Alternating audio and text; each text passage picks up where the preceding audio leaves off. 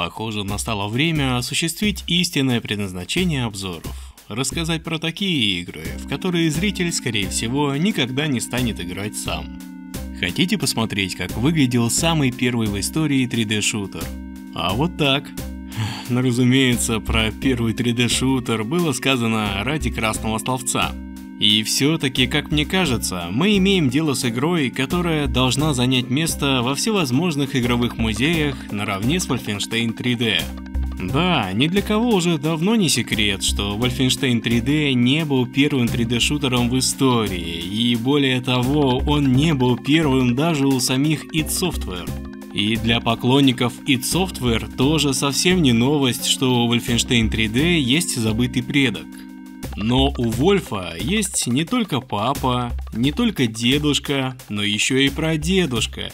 И мы имеем дело даже не с одной игрой, а с целой серией.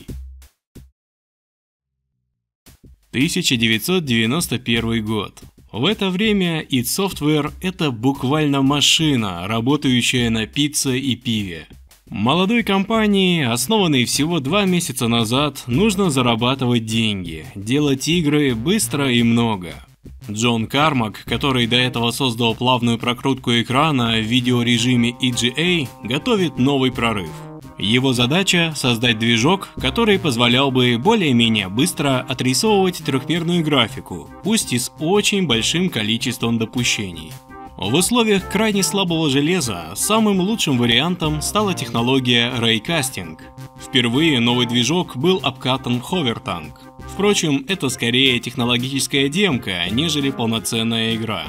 Движок нуждался в текстурах, что и было реализовано в следующей версии. Вот с этим уже можно было работать. Первым серьезным результатом стала игра Catacomb 3D, Однако id Software посчитали эту игру недостаточно крутой, и поэтому сразу занялись следующей версией, уже под гораздо более продвинутый видеорежим VGA, из чего в будущем и появился легендарный Wolfenstein 3D. А вот старый движок с 16-цветной палитрой id Software отдали своим корешам из Gamers Edge. На этом движке Gamers Edge создали еще три продолжения Catacomb 3D, которые значатся под серией Catacomb Adventures. С учетом того, каким монстром был Wolfenstein 3D, а вскоре еще и появился Титан в лице Doom, серия Катакомб, естественно, была обречена на забвение. Часто встречается мнение, что заслуженно. Мол, Катакомб во всем была хуже Wolfenstein 3D. Не без этого, конечно, но все картины это не описывает. Весьма интересно, что мнения насчет этой серии довольно неоднородные, причем это может наблюдаться даже у одного человека, например, у меня.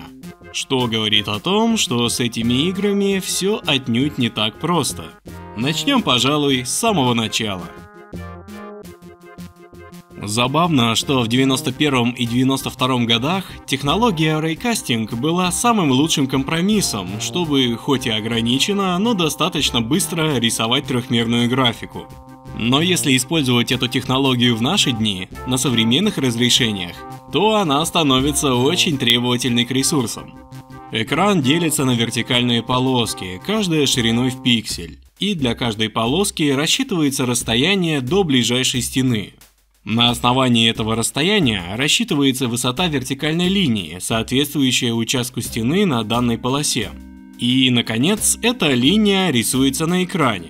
Спрайты же ни на какие полоски не разделяются и просто масштабируются целиком, в зависимости от расстояния. В общем, как видите, количество математических операций максимально ограничено, чтобы компьютер успевал выполнять их с достаточной скоростью. На примере Ховертанк видно, что для полноценной игры этого недостаточно. Монотонный геймплей, монотонные уровни, неинтересно. Но даже если бы софтвер разнообразили геймплей, движок все равно нуждался в доработке. И вот в усовершенствованной версии вместо пустых цветных линий уже бралась соответствующая полосочка текстуры стены, которая тоже масштабировалась на основании расстояния от игрока и отрисовывалась на этой соответствующей вертикальной полоске экрана. И никакого вертикального движения, чтобы не обсчитывать перспективу еще и по вертикали. Теперь движок созрел для полноценной игры. Ребята из id Software были эталонными задротами, прямо такие из палаты мира весов. Ну, как задротами.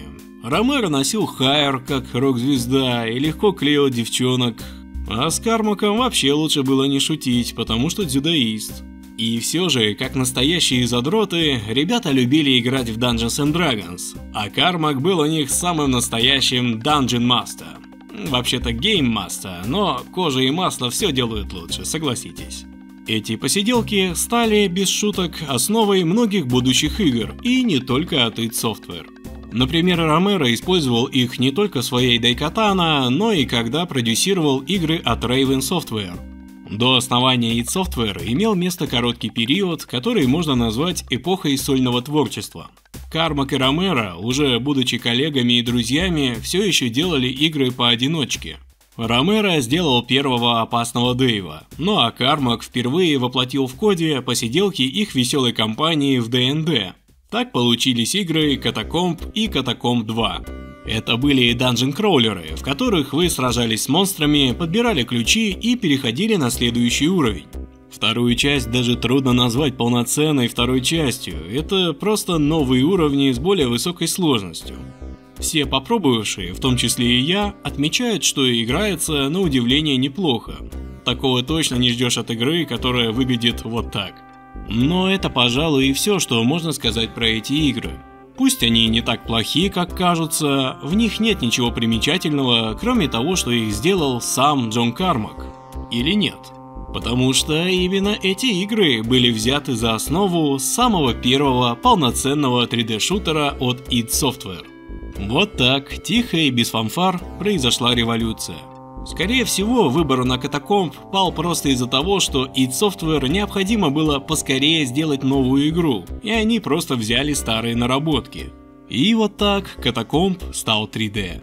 Именно так, через дефис. 3D! Во-первых, чтобы было понятно, что это катакомб 3, а во-вторых, еще и 3D, чтобы вы, дебилы, поняли, с каким прорывом имеете дело. Между прочим, очень выгодная покупка. В меню еще можно поиграть в Понг, так что у нас тут две игры по цене одной.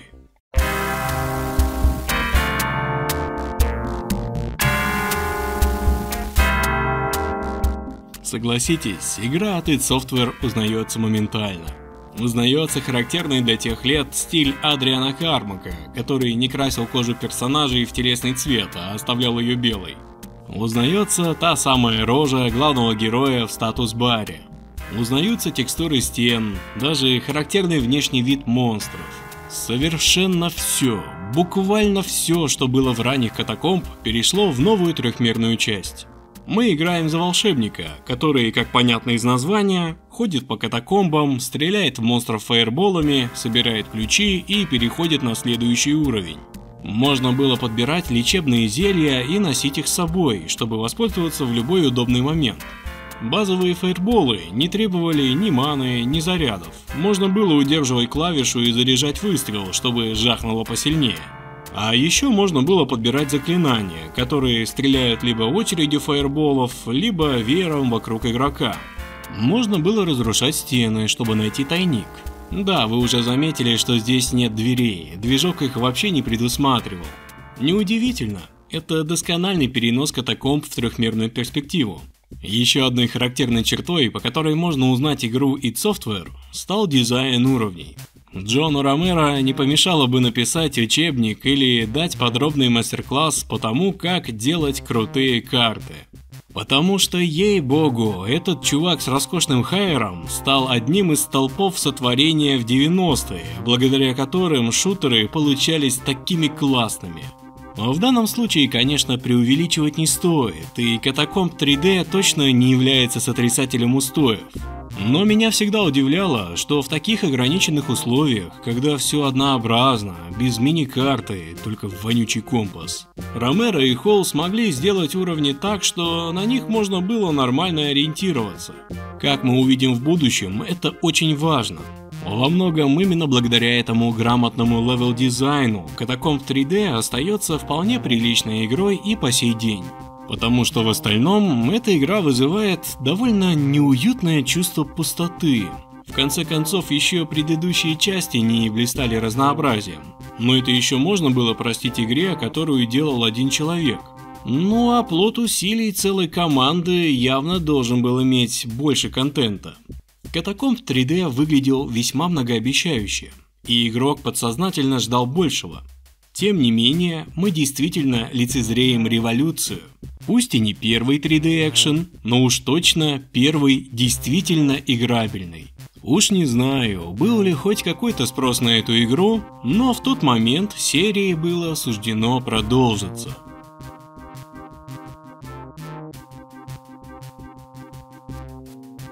Похоже, что серия Катакомб никогда не имела ценности для самих id Software, потому что они так и не вспоминали о ней впоследствии.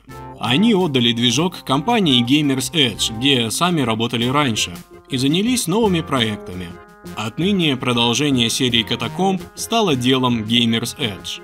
Не скрою, я подступался к серии Catacomb Adventures с некоторым трепетом, даже предвкушением. В конце концов, EJ-эпоха в 3D-шутерах пролетела стремительно и незаметно, и было бы очень интересно посмотреть, каким бы получился Wolfenstein 3D в 16 цветах. Gamers Edge изначально было названием игрового журнала, который распространялся на дискетах. Когда компания переключилась на разработку и издание игр, то это прошлое дало о себе знать, и игры сопровождались таким вот своеобразным электронным буклетом, где были инструкции, карты уровней и реклама других игр. Мне кажется, это очень милая особенность. Возможно, потому что эту фишку сохранили id Software, и там послание игрокам писал сам Джон Ромеро. Первое, что бросилось в глаза, а точнее в уши, отсутствие музыки. В предыдущей катакомб 3D звучала клевая тема, одновременно расслабленная и угрожающая, будто опытный киллер вышел на очередное дело. Здесь же никакой музыки нет, и это довольно неприятно. Зато заморочились с тем, чтобы сделать звук шагов. И стоит отметить, что этот топот всего лишь первая из многих странных, но забавных мелочей серии Catacomb Adventures. Второе, что сразу замечает игрок, двери в движке так и не появились. Точнее, были сделаны какие-то рахитные варианты. Но первое, что увидит игрок, это то, что стены надо взрывать, чтобы пройти дальше. Разрушаемое окружение – это вообще-то прекрасно, но впечатление очень сильно смазывает то, что это, по сути, просто прикрытие недоработанности движка, которую так толком и не исправили – и все-таки Катакомб Абис начиналось очень многообещающе. Первый уровень, кладбище, был оформлен как надо. И надгробия, и готические скульптуры, и разнообразные текстуры стен, и вылезающие из-под земли зомби, и полыхающее под раскаты грома небо. У 16-цветной палитры было свое очарование, если правильно ею пользоваться – да и вообще, 16 цветов у спрайта одновременно, это уж точно не чита Nintendo Famicom с ее спрайтами 8 на 8 и палитрой в 4 цвета на спрайт. Самой главной загадкой в движке Катакомб и Wolfenstein 3D для меня остается отсутствие мини-карты. В игре Blackstone она все же есть, но в режиме паузы. И на том спасибо но с большим трудом верится, что мини-карта могла бы значительно повлиять на производительность игры. Однако разработчики Catacomb Abyss все же пошли на компромисс и расширили роль компаса, который был еще в Catacomb 3D. У главного героя есть хрустальный шар, который по сути является радаром. Он показывает в какой стороне север, а также расположение врагов относительно игрока и даже зачем-то снаряды. Для него была придумана своеобразная геймплейная фишка. Если вы тщательно обыскиваете уровни, то будете находить драгоценные камни, которые позволят видеть на радаре все новые и новые типы врагов. И это очень полезно в условиях очень ограниченного звукового сопровождения, когда очередной зомби или скелет не будут орать, а просто вероломно нападут со спины. Возможно, разработчики Catacomb Abyss считали, что обязательно должны сохранить характерные фишки серии, которые мы упоминали ранее, и досконально перенесли их в новую игру. Даже те, которые были не нужны с самого начала. Например, названия локаций, которые указываются в строке состояний. Зачем они нужны, не знаю. возможно для атмосферности. То же самое касается и оружия. Все осталось по-прежнему. Простой выстрел, выстрел очередью и круговой выстрел. Разве что убрали возможность заряжать фаербол. Снова непонятно зачем. Честно говоря, обидно, можно было добавить побольше заклинаний.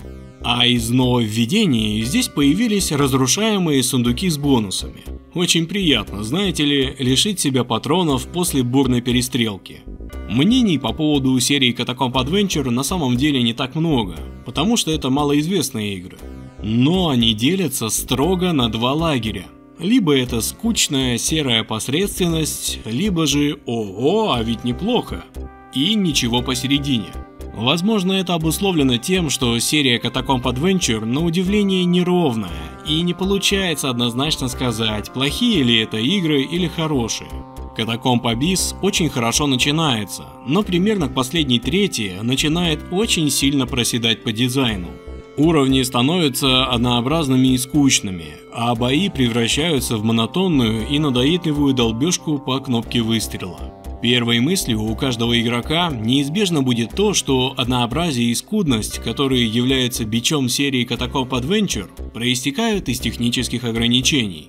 Все-таки на старом движке всего 16 цветов, и звук там в лучшем случае Adelip, а не Blaster. На экране может быть меньше врагов, меньше объектов, ну и так далее. Словом, создается чувство, будто трехмерные игры Катакомб были обречены на то, чтобы остаться скучными и примитивными. Но насколько движок Catacomb Adventures слабее, чем движок Wolfenstein 3D? Иначе говоря, насколько сильно они отличаются друг от друга, кроме как по количеству цветов на экране. Эти движки устроены во многом одинаково. Карта представляет собой двухмерный массив, где отмечено расположение стен. Стены, которые идут горизонтально по массиву, рисуются темным цветом, а вертикальные рисуются светлым. Это, во-первых, не дает стенам сливаться в сплошное пятно, и, во-вторых, создает эффект освещения. Когда в движке появились текстуры, то в данных игры хранился светлый и темный вариант текстуры, подставляющийся соответственно. Главное отличие заметно сразу. В движке Catacomb Adventures нету дверей, нету поддержки подвижных стен, как в тайниках Вольфе, и враги всегда смотрят на игрока, никак не поворачиваясь в кадре. Нельзя сказать, что все это могло бы серьезно повлиять на качество карт. Отсутствие дверей не смертельно, разработчики все же выкрутились, тайники можно прятать за разрушаемые стены, а то, что враг может повернуться к тебе спиной, то это было сделано позже. Wolfenstein 3D, когда он еще планировался как стелс-экшен, чтобы можно было подкрасться к противнику. Стелс Catacomb Adventures уж точно никому не был нужен. И, как показало будущее, Wolfenstein 3D тоже. На самом деле, серьезное отставание у Catacomb Adventures только одно – размер карт. Wolfenstein 3D максимальный размер карты был 64 на 64 блока, а в трилогии Catacomb Adventures все гораздо скромнее – 40 на 28 блоков. Но и это не могло служить оправданием тому, что последние уровни Catacomb Abyss стали скучноваты. 40 на 28 – это очень даже много. Ну ладно, если и немного, то уж точно вполне достаточно, чтобы сделать разветвленную и разнообразную карту. Да и в конце концов, можно компенсировать количество качеством, делая небольшие, быстро проходящиеся, но все же интересные карты. Как, между прочим, и поступали Джон Ромеро и Том Холл еще в Катакомб 3D. Ну уж при умелых-то руках этот движок мог не только рисовать трехмерные лабиринты с монстрами. Есть ли в Wolfenstein 3D анимированные текстуры стен? А здесь они есть и смотрятся отлично. В Катакомб Абис есть целый уровень в канализациях. В движке не отрисовываются пол и потолок, но с помощью анимированных текстур хорошо создана иллюзия плещущейся на полу воды. Если бы все уровни были сделаны с такой выдумкой, если бы на всех были так хорошо подобраны цвета, то я бы точно поставил катакомб выше Вольфенштейн. Потому что движок позволяет многое. Зомби вылезают из-под земли, тролли в канализации ныряют и прячутся от выстрелов, преследуя игрока, скелеты вылезают из стен. И вы начинаете нервничать еще когда видите их в текстурах. Отличная ведь идея. Ради справедливости еще стоит упомянуть, что здесь есть телепорты, но эту фишку реализовала еще команда Кармака и Ромера. Больше всего меня впечатлили песочные часы. Если подобрать их, то время останавливается, и двигаться может только игрок. Даже снаряды застывают на месте. Настоящий bullet time задолго до Макс Пейн. В теории можно настрелять снарядов нужного врага, а потом, когда действие часов кончится, все они полетят в цель. Но, увы, реализовано это криво. Как и во всех случаях в трилогии Катакомб, всюду полумеры. Например, программист в первую очередь обратит внимание на то, что в игре есть видимые снаряды, которые должен отрисовывать движок. А значит их количество на экране ограничено, и ты попросту не настреляешь больше отведенного лимита. Если бы эти часы можно было подбирать и носить с собой как зелья, и если бы ты сам мог прерывать их действия, а не нудно ждать, вот тогда бы, смею предположить, трилогия Catacomb Adventures могла бы потягаться с Wolfenstein 3D. Эта фишка с остановкой времени является очень ярким примером неоднородности качества серии Catacomb Adventures. Несмотря на мелкие недостатки, Катакомб Абис хорошо заявила о себе и оставила приятное впечатление. За счет хороших и неожиданно оригинальных идей она смогла компенсировать техническую отсталость и, самое главное, заинтриговать игрока. Ведь если тут так много прикольных идей, то что же будет дальше? Все-таки не так уж и плохо в то время было бы заполучить себе этакий Wolfenstein 3D, который не требователен к железу, да еще и имеет любопытные фишки. Поэтому я с нетерпением взялся за вторую часть. Катакомб Армагеддон. Стоит сказать, что в таких случаях, когда имеет место преемственность движков, есть нечто интригующее. Я очень люблю то, что называют демейк, хотя таких игр исчезающе мало, и неудивительно. Куда чаще дело не идет дальше прикольного видео или в лучшем случае недоделанного мода. Но даже так почему-то очень интересно взглянуть, как, например, выглядела бы вторая Half-Life на движке первой, или как можно перенести GTA 4 на движок San Andreas. Мне хочется пошутить, что я просто уже старый. Когда старик видит другого старика, то он сразу испытывает к нему доверие, ведь это такой же старпер. Но при таких переносах в первую очередь интересно увидеть, справится ли старый движок с новыми задачами и сможет ли хотя бы частично передать величие оригинала. Это в своем роде расширение границ, потому что мы пытаемся таким образом заставить старую игру делать нечто несвойственное ей, то, что в ее время даже не предполагалось. И серия Catacomb Adventures как раз выглядит как своеобразный демейк Wolfenstein 3D. Они делали нечто несвойственное шутерам той эпохи, тогда их правда особо и не было. Естественно, мне хотелось увидеть, что же еще придумают в Gamers Edge. Ну... Думаю, по одному только этому «ну» вы уже все поняли. Gamers Edge ввели странную политику. Они делали не одну игру, а сразу целую трилогию и штамповали новые игры очень быстро. Зачем, не ясно. Может пытались так застолбить место на открывающемся рынке 3D-шутеров?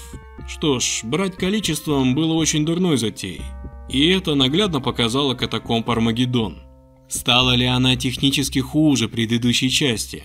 Нет, это все тот же движок. Однако катакомб Армагеддон унаследовала буквально все ошибки, допущенные прошлой игрой, но ничего хорошего при этом не привнесла. Какие ошибки могут совершать разработчики, когда создают на подобном движке игры? Самая первая и самая главная ошибка – это проклятый коричневый цвет.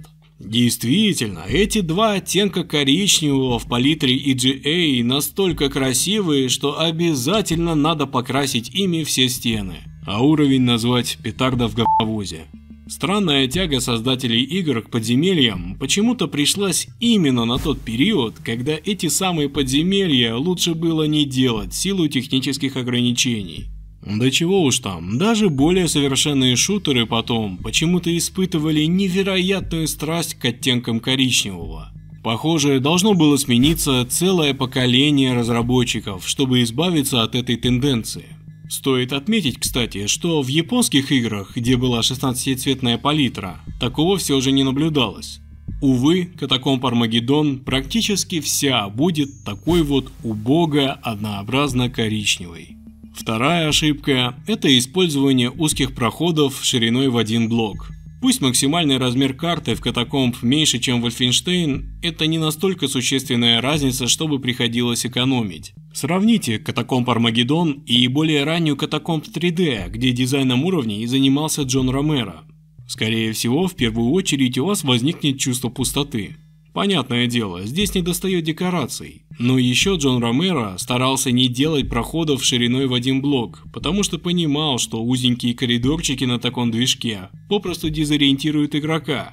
И кроме того, игрок будет натыкаться на углы, что раздражает. Так уж получилось, что большинство врагов в трехмерных играх катакомб атакуют в ближнем бою. Они идут на сближение, а вы, соответственно, должны вовремя их убить.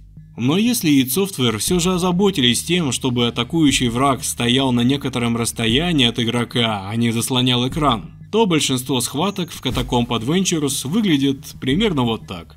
Отчасти я наблюдал это и по своей вине. Я проходил все три части на высоком уровне сложности. Ну, я же мужик. Я делал это по привычке.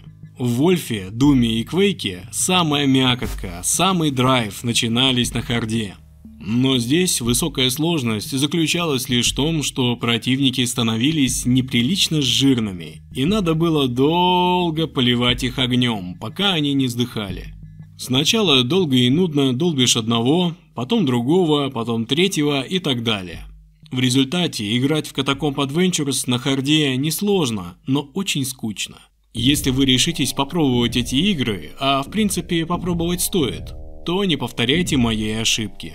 Судя по всему, сроки поджимали. В подобных условиях родить кучу классных карт и даже целых эпизодов могла только пицца-пивная машина id Software. Ну а все остальные делали катакомб.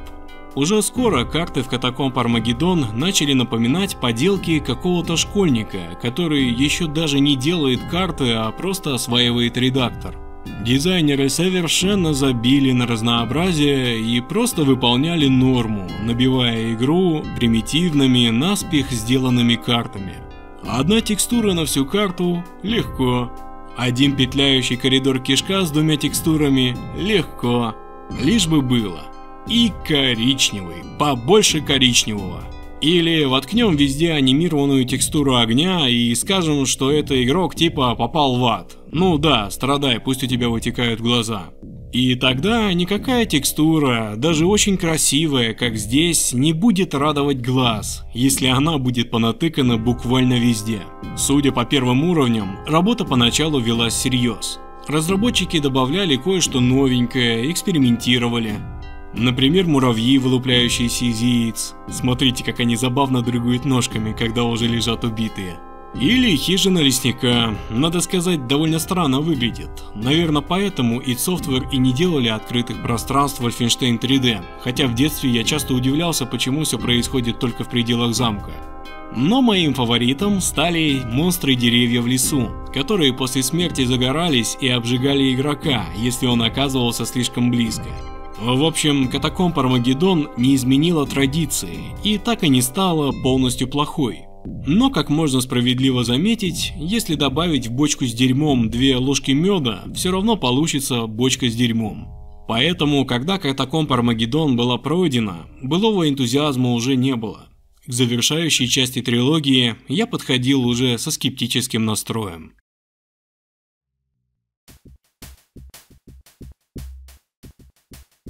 Ах да, у геймдизайнеров 90-х была еще одна страсть – египетская тематика. Нужна ли она, вписывается ли в общую картину, неважно, обязательно должен быть хоть один египетский уровень.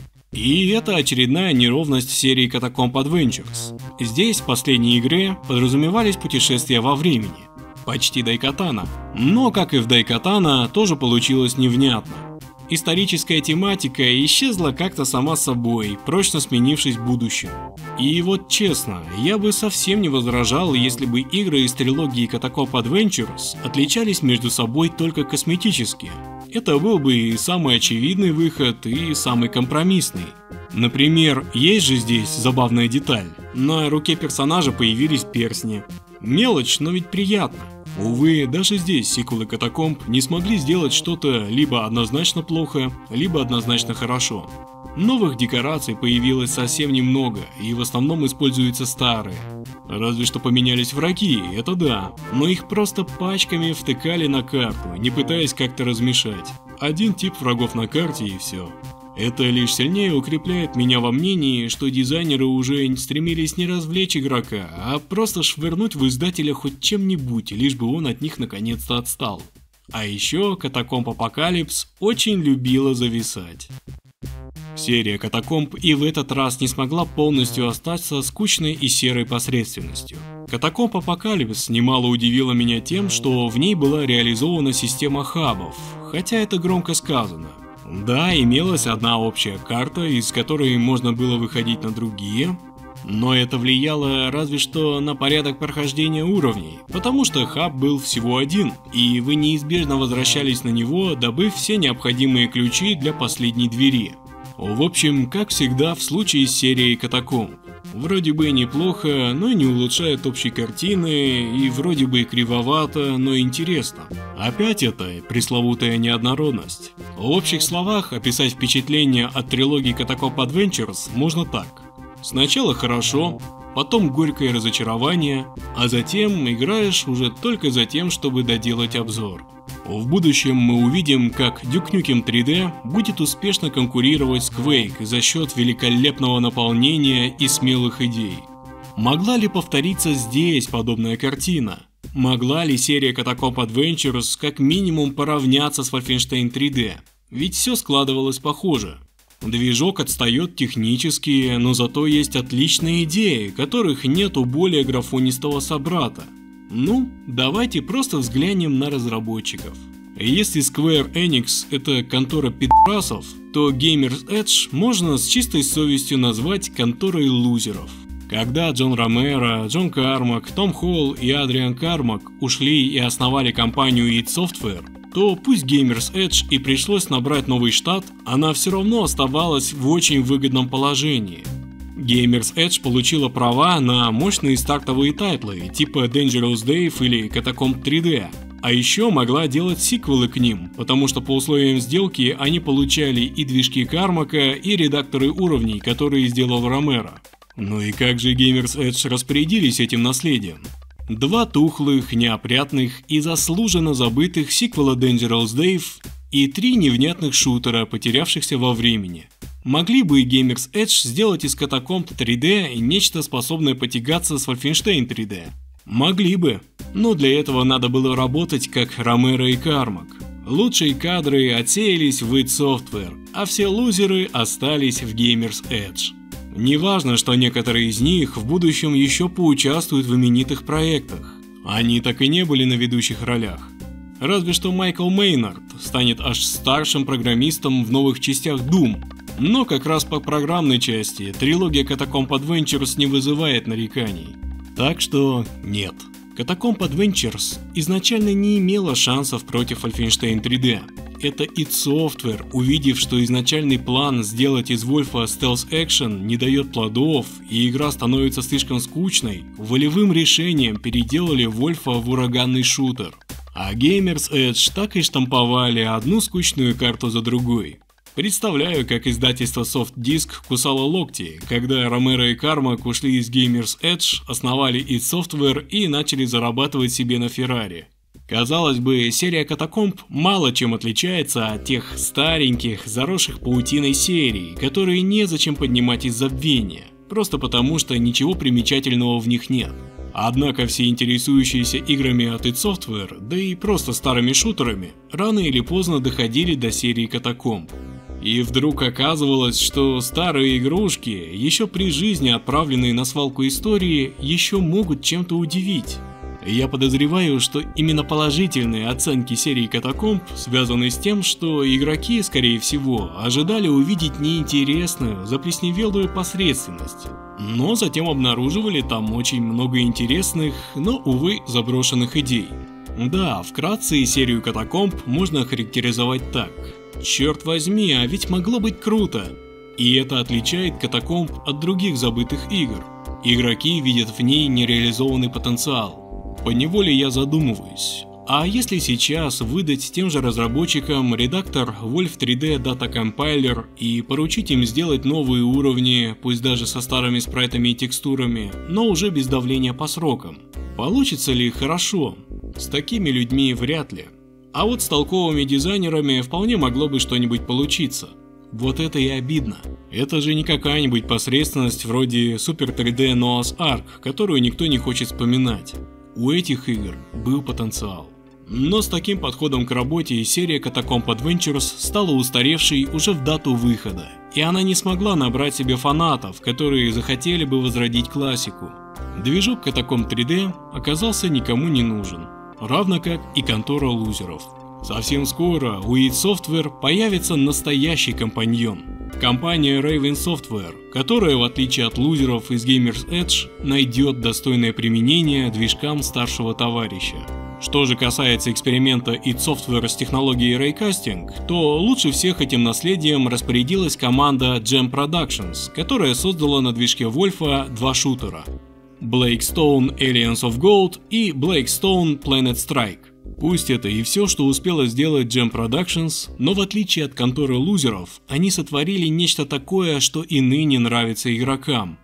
И не зря. А здесь подтянули визуальную часть, сделали текстуры пола и потолка, сделали мини-карту и добавили много мелких и интересных фишек, вроде автоматов выдачи еды, почти настенные зарядки из Half-Life и информаторов среди противников. Кстати, если бы эти информаторы еще сопровождали игрока и помогали драться с противником, то это точно был бы самый настоящий ранний Half-Life. Стоит ли говорить, что в отличие от серии Катакомб, игры Blackstone по-прежнему на хорошем счету у тех, кто увлекается старыми шутерами. Blackstone не повезло только в одном. Через пять дней после релиза вышел Doom. Стал бы я рекомендовать серию Catacomb Adventures? Ой, не знаю. Даже после всех этих рассуждений я так и не могу дать однозначного ответа. Казалось бы, это очередная плесневелая игра, которая никому не была нужна еще в дату релиза. Обычно такие вытаскивают на свет божий, только чтобы сделать обзор. Но, как и многих, меня удивило наличие неожиданных и довольно смелых идей для того времени. Жаль лишь, они не получили достойного воплощения. Но, пожалуй, для этого и нужны обзоры, чтобы не терять время, но посмотреть на что-нибудь любопытное. И надеюсь, в этом отношении я выполнил свою задачу.